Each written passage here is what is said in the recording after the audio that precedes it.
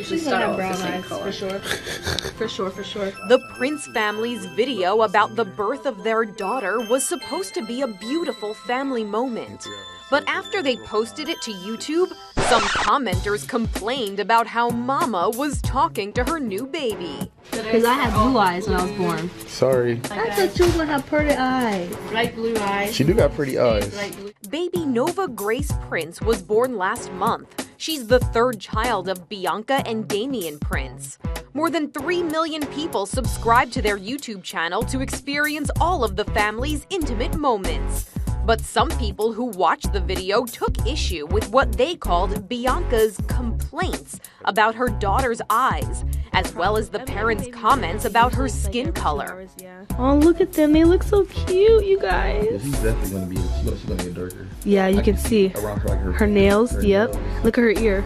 You see it? Oh, her ear is dark. Some commenters say the princes seemed disappointed in their new baby's appearance, and even went so far as to accuse them of colorism, which means to discriminate based on the color of skin. A lot of people was judging us off a 30 second clip that was posted on these other platforms. Biannca and Damien posted a response video clarifying their comments.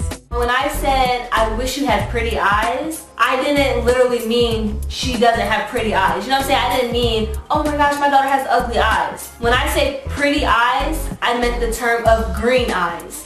Because Damien, have you ever got a compliment about your eyes? No. If I was a colorist, I wouldn't even like black people at all. You have a choice, right? I have a choice. Did I Yeah. force you to get with me? No. Did I have kids with me? No. Okay. So it's like, I, I not once said my daughter was ugly. They went on to insist they are loving parents to all of their children.